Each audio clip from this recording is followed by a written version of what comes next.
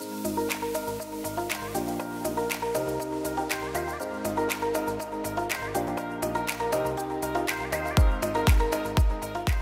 is het gegaan? Ja, met uh, flink wat hobbels. Dat uh, verhaal uh, dat heb ik inmiddels vaak verteld. Ik begon als B1 met 14,70 en ik liep als tweedejaars senior 13,50. Um, maar ja, toen stagneerde het een beetje. Ik ben overgestapt naar een andere coach. helemaal moeten wennen aan de nieuwe school. Dus de oude, de oude hordenschool van Ineke. Dat heb ik nou, twee jaar heeft dat geduurd voordat het in mijn systeem zat. Dus toen was ik fysiek was ik eraan toe om hard te lopen, alleen toen mentaal niet. En nou, dat heeft me uiteindelijk ook opgebroken. En heeft me weer twee jaar gekost, maar nu eh, vier, vijf jaar later ben ik toch beter dan ooit. En fysiek en mentaal op het beste punt waar ik op dit moment kan zijn. Toen ik in Lille heel hard liep, ehm, toen dacht ik dit is een mooi moment om erover te vertellen. Want ja, ik wilde niet als een soort smoestruus overkomen dat ik dacht van nou ik heb, een, ik heb het zo zwaar, maar ik loop ook slecht. Ik wilde juist op het moment dat het goed ging laten zien van nou dit heb ik meegemaakt en nu ben ik weer hier. Ja, Ineke is heel streng en dat heb ik ook nodig. Ik ben ook wel nog een flink karakter. En dus moet je wel flink onder de duim houden. Maar af en toe moet je, moet, moet je mij prikkelen en af en toe moet je me afremmen. En dat heeft ze wel heel goed, uh, heeft ze wel heel goed door. Ze hebben natuurlijk flinke jongens getraind, Robin Corving, Marcel, Greg. Het waren ook af en toe wel lastige gasten hoorde ik.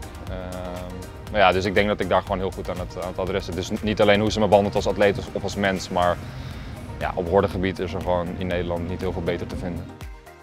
Mijn ultieme ambitie is altijd al geweest dat ik de Olympische Spelen een keer haal. Uh, dat heb ik nog boven mijn bed hangen. Het is nu een heel cliché verhaal aan het worden, maar ik heb het serieus boven mijn bed hangen, een papiertje uit 2003. Uh, eh, toen moest ik voor mijn klasgenootjes moest ik allemaal vragen beantwoorden en toen stond er, wat is jouw droom? Stond er, ik wil naar de Olympische Spelen op het onderdeel horde lopen. Nou, ik was in 2016 voor mijn gevoel best wel dichtbij fysiek. Mentaal was ik er nog niet klaar voor.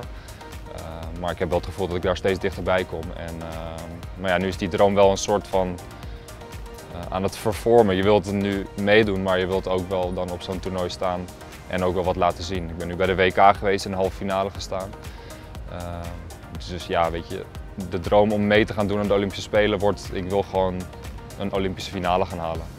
Of een Olympische halve finale gaan halen. Of in ieder geval mijn beste prestatie ooit neerzetten op een Olympische Spelen. Ik denk dat het vooral geduld is. Uh, hordenlopen is echt een heel lastig onderdeel. Het zijn heel veel, heel veel factoren die uh, bij elkaar moeten komen. Uh, niet alleen condities van buiten, maar ook gewoon je moet fysiek sterk zijn, je moet mentaal goed zijn, je moet technisch, alles moet bij elkaar komen. Uh, en dan kan het ook zomaar heel hard gaan.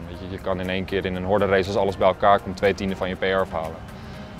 En ik denk dat ik gewoon geduld moet hebben totdat het moment komt. En dat moet op het juiste moment gebeuren en daar moet ik vertrouwen in hebben in de coaches. Dus heb ik nog heel veel nodig. Uh, ja, misschien twee jaar, drie jaar trainingsjaren. Uh, nou ja, het liefst anderhalf jaar natuurlijk, want dan is zijn de Olympische Spelen. Maar uh, ja, geduld is heel belangrijk.